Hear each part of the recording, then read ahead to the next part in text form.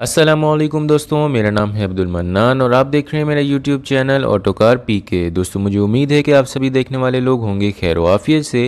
दोस्तों, आज की इस वीडियो में हम बात करने वाले हैं मित्सुबिशी मिराज के बारे में, जो कि आपको पता ही होगा कि एक जैपनीज़ गाड़ी है और इस गाड़ी को पाकिस्तानी मार्केट में जापान से इम्पोर्ट करवाया जाता है। तो चलिए अब ज़्यादा टाइम ज़ाया नहीं करते, इस वीडियो में आगे बढ़ते हैं और सबसे पहले तो मैं आपको इस गाड़ी की थोड़ी सी हिस्ट्री बता देता हूँ। तो दोस्तों, मिराज एक front engine front wheel drive compact car है जो कि जैपनीज ऑटो मैन्युफैक्चरर मित्सुबिशी वालों की तरफ़ से 1978 से बनाई जा रही है। और 1978 से लेकर आज तक मित्सुबिशी वाले इस गाड़ी की मार्केट में टोटल छह जनरेशन को लॉन्च कर चुके हैं। जो भी लेटेस्ट जनरेशन चल रही है पूरी दुनिया में, वो है मित्सुबिशी मिराज की छठी जनरेशन जो कि इंटरनेशनली 2012 में इंट्रोड्यूस करवाई गई थी और 2012 से लेकर अब तक प्रोडक्शन में है। दोस्तों 1978 में मित्सुबिशी वालों ने जब इंटरनेशनली इस गाड़ी को लॉन्च किया था तब इस गाड़ी में दो तीन बॉडी स्टाइल्स को इंट्रोड्यूस करवाया गया था। पूरी दुनिया में ये गाड़ी न सिर्फ़ हैचबैक बल्कि सिडैन और स्टेशन वैगन वाले बॉडी स्टाइल के साथ भी आती थी।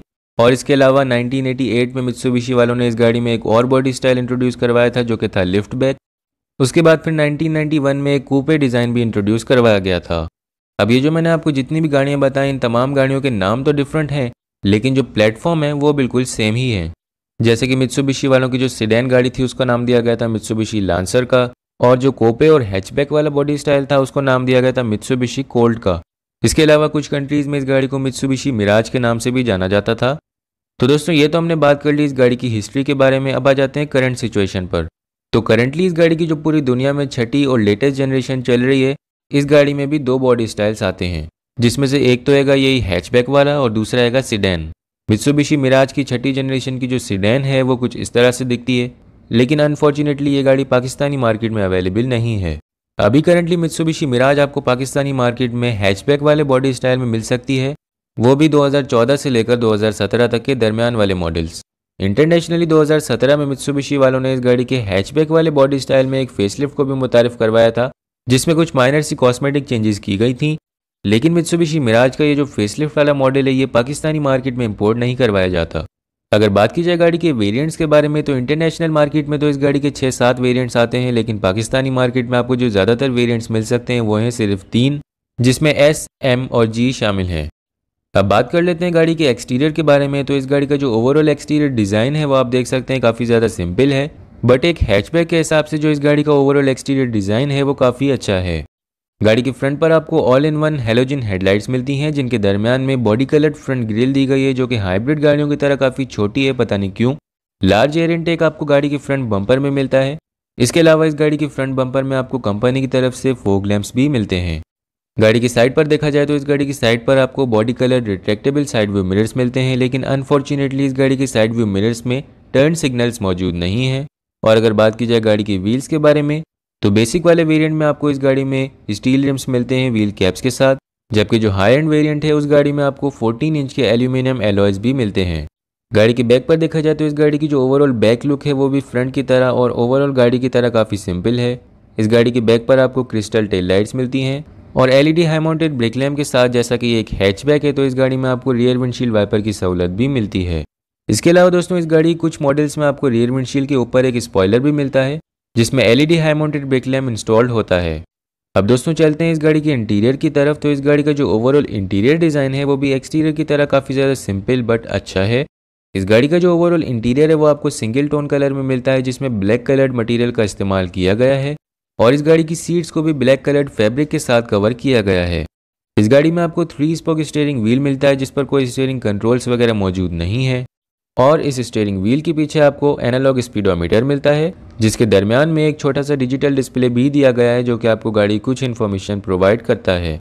बात की जाए गाड़ी के हेड यूनिट के बारे में तो इस गाड़ी के बेसिक वाले वेरिएंट्स में आपको कंपनी की तरफ़ से एक ऑडियो सिस्टम मिलता है, जिसमें A M F M radio की सहूलत मौजूद है, जबकि जो हायर एंड वेरिएंट्स हैं, उनमें आपको कंपनी की तरफ़ से जैपनीज हेड यूनिट मिलता है, जिसमें सैटेलाइट नेविगेशन के साथ साथ रिवर्सिंग कैमरा भी इंस्टॉल्ड होता है।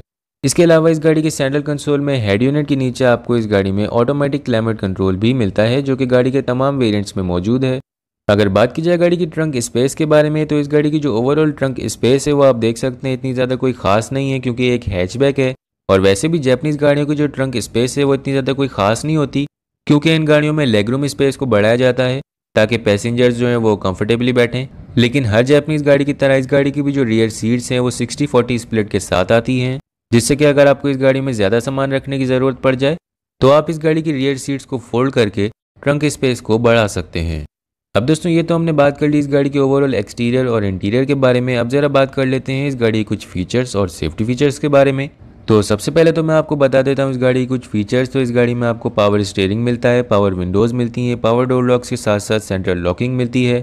इसके अलावा बेसिक वाले वेरिएंट में आपको सिंपल कीलेस एंट्री मिलती है, जबकि हायर एंड वेरिएंट में आपको स्मार्ट एंट्री के साथ साथ पुश स्टार्ट बटन भी मिलता है।